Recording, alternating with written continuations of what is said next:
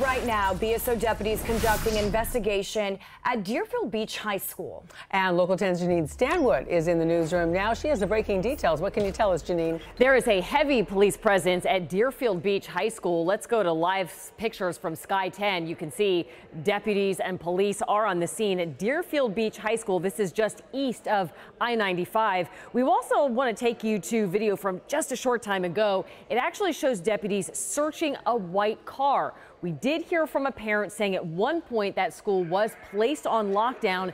And we can tell you that just a short time ago, we did see deputies placing somebody in a patrol car. At this point, it is not clear if that's somebody who is placed under arrest or if this is somebody that they are interviewing. Once again, a big police presence at Deerfield Beach High School. You can see BSO deputies on the scene. We have reached out to the sheriff's department, and as soon as we get more, we will let you know.